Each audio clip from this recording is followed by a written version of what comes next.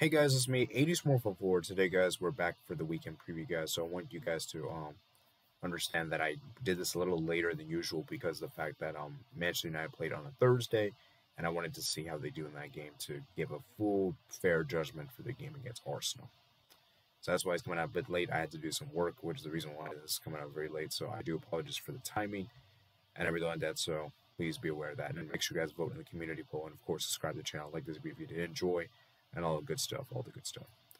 So we have the first game here is Real Madrid versus Real Betis. This is an interesting one. This is a very, very interesting one, guys. And I personally think this will be a tough one for Real Madrid. I think Real Madrid will struggle in this game. Real Betis have always given close games against Real Madrid in the past. Real Betis have always, uh, you know, up their level against Real Madrid. Real Betis have actually been relatively good. They actually haven't conceded a goal at the Bernabeu since I believe 2018. Yep, 2018 um, was the last time they actually. Um, sorry, yeah, 2018 I think. Yep, 2018. So yeah, that's the last time they conceded a goal at the Bernabeu, you know.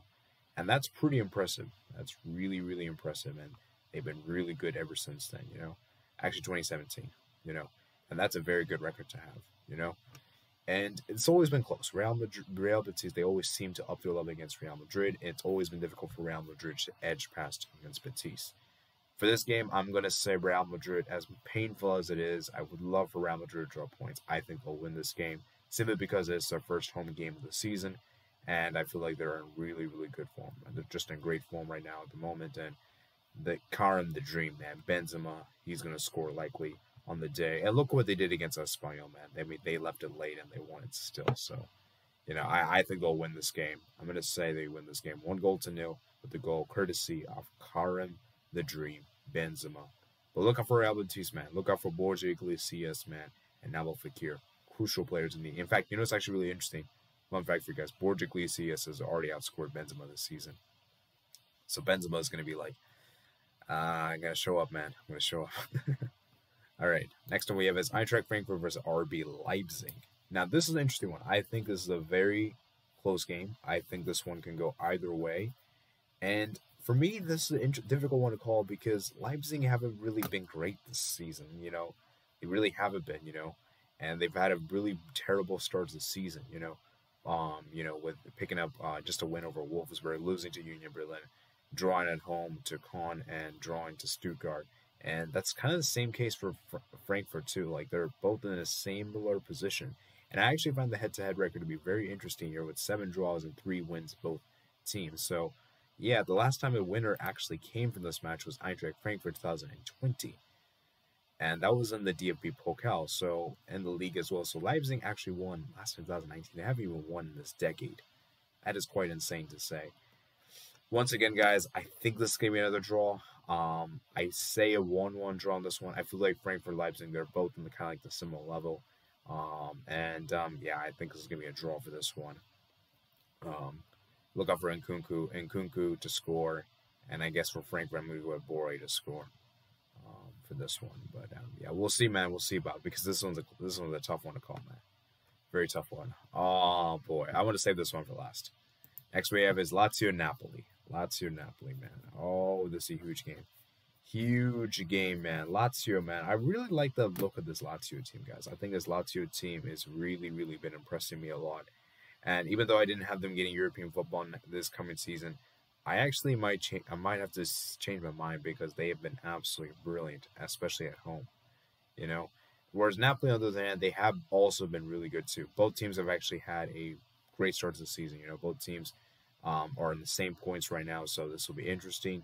Um, last times, um, Napoli's obviously got the head-to-head record with 18 wins, uh, but Lazio, man, they got, they've done their job. You know, 1,020, six wins and four draws. So it's a difficult one to call, guys. It's a difficult one to call for this one, but I am actually going with the underdog to win this one. I think Lazio is going to win this game simply because of the Stadio Olimpico.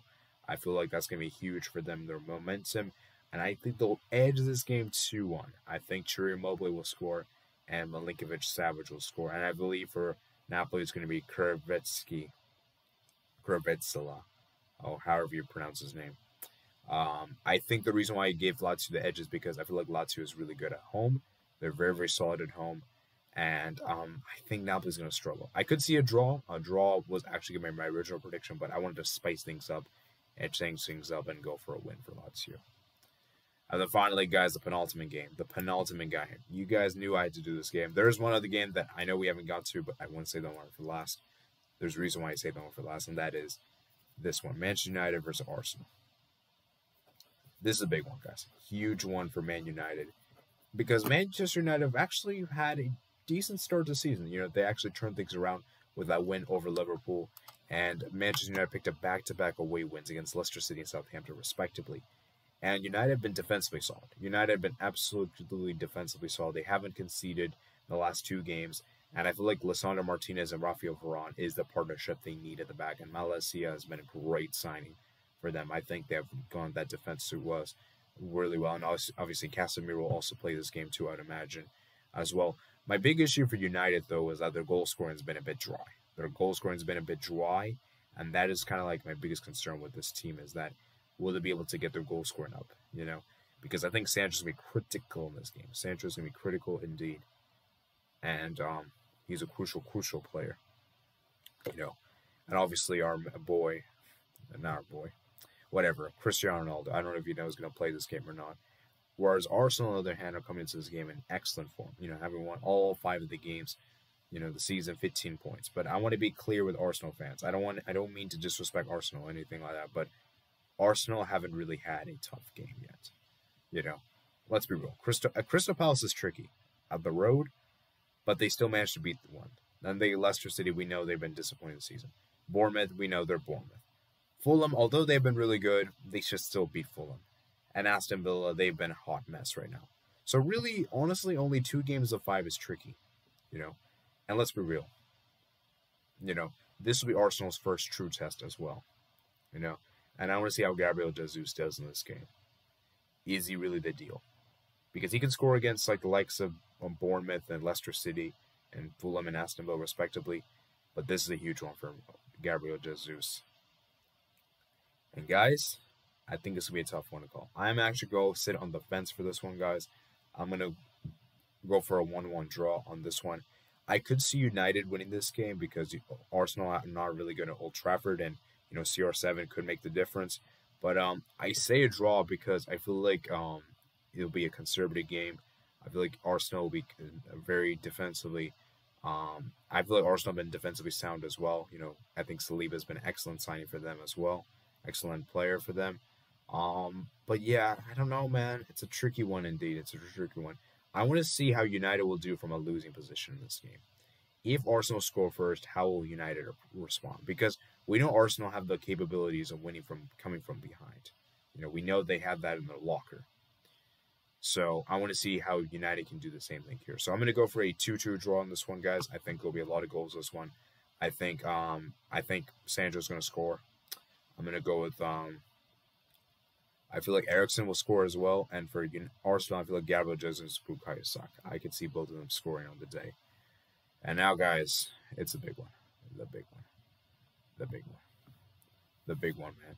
And guys, I'll I'll see if I can go watch match reaction, watch along for something because, dude, trust me, man, this is a massive, massive game, and I can't believe it's already the early the season.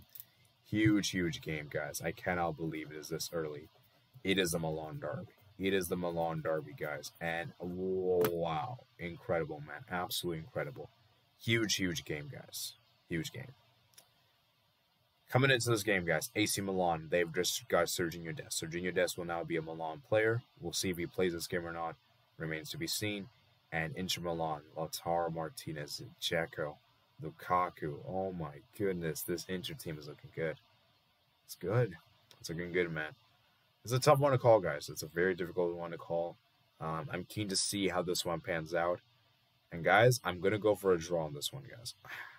I know it's a boring prediction, but guys, I feel like the squads are almost the same on this one. Although I do think Inter had the better squad compared to Milan, in my personal opinion.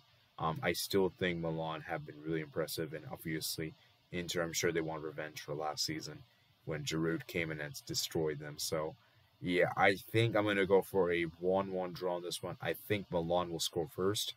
Um, I'm going to say Rafa Leao scores, and I think Lautaro Martinez equalizes. But man, what a game this promises to be. What a game. So we'll see, man. I'll try to see if I could do a match reaction or match watch along or something. I don't know. It depends on my schedule and depends how much work I have laid out. Um, I don't think I could do a watch along just because the game is too close to the Barca game, and I definitely need to watch the Barca game. But I could maybe do a match reaction. We could do a match reaction and for both the Milan game and for the Barca Sevilla game because my goodness me, man, I'm gonna definitely need to see this game. Okay. So if you guys did enjoy this video, guys, comment down below your predictions, comments below. Remember, guys, to subscribe to the channel if you're new and I like this video if you did enjoy. And I'll see you guys later. Peace out.